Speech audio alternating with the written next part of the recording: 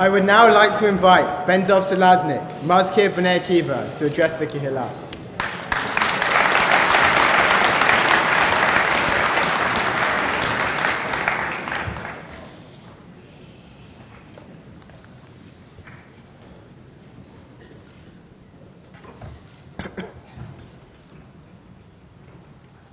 Chief Rabbi Mirvis, Your Excellency Ambassador Taub, the Right Honourable Theresa May, His Worshipful the Mayor of Barnet, Rabbi Lawrence, Rabbanim, distinguished guests, Chaverim.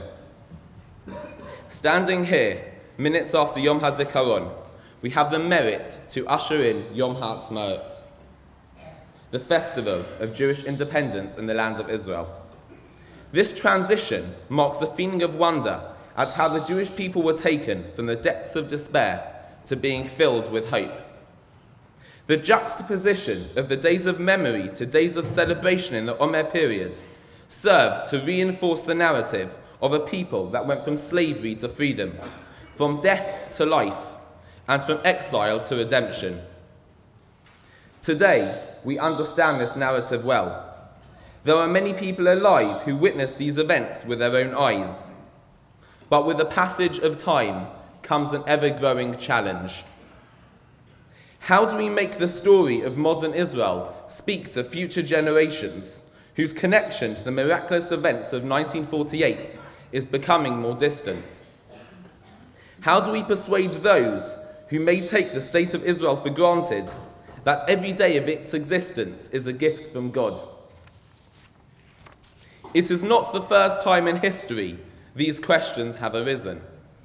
The Torah commands us to relive the story of Pesach each year. It says,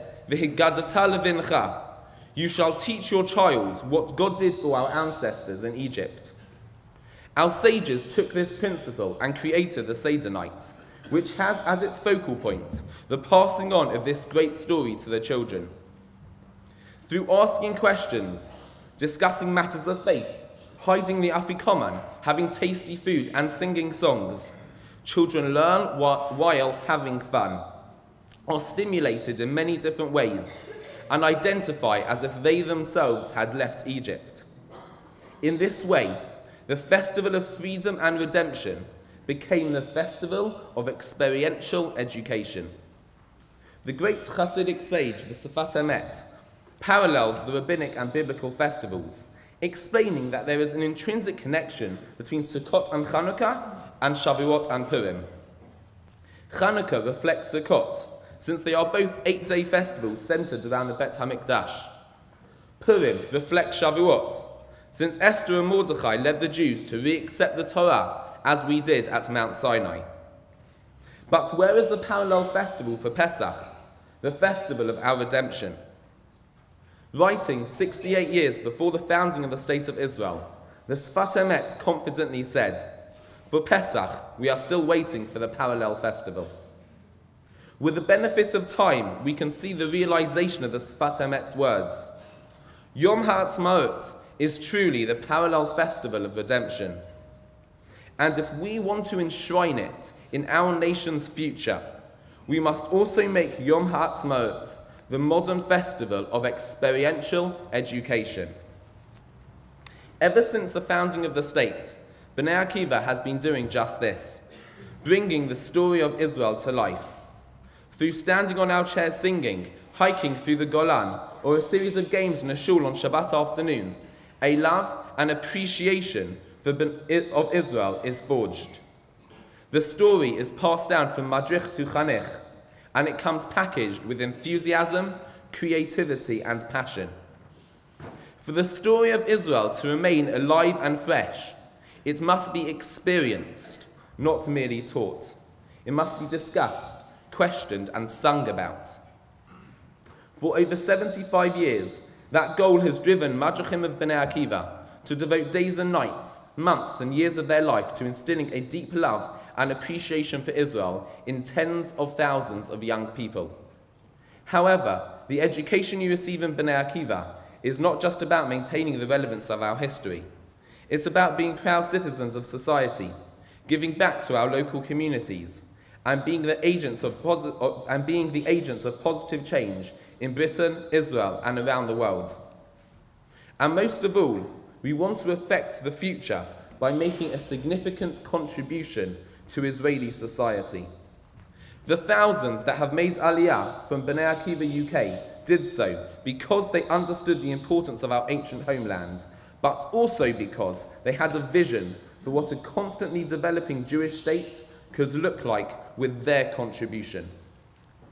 Of the thousands who have, together with their children, made major contributions in all fields of Israeli life, two of the greatest examples of this are Asher Kaufman and Yehuda Avner, who both passed away in the last month.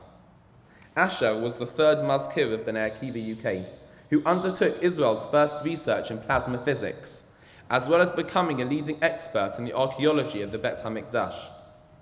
Yehuda was Asher's successor as Mazkir, served as the Israeli ambassador to the UK and Australia, and was a personal advisor to four prime ministers at some of the most formative moments in Israel's history, including the Six Day War, the operation in Entebbe, and the Yom Kippur War.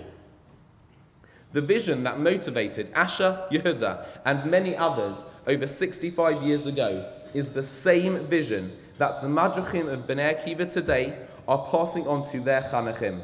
It is a vision that is born in a shul hall, a tent in Wales, or a Hachshara seminar, and is formed through open, honest, and stimulating debates about what the Jewish state should look like.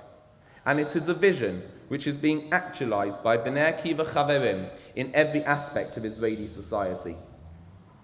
Our unique brand of experiential education is the ideal way to motivate the next generation of religious Zionists.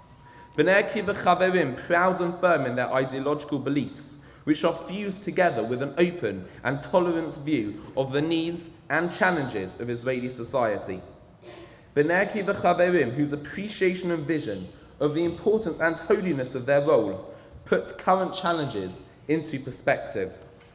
And Bnei Akiva Chaverim, who fully appreciate the miracles of the State of Israel's foundation and continued existence, and thus are well prepared to pass on that appreciation to future generations. B'nai Akiva is more than just a youth movement. We are a society in waiting, giving life-changing educational experiences to our Chanichim, empowering them to appreciate the story of our past and to be engaged in building our future. Kadima B'nai Akiva, Yom Ha'atzmaut Sameach.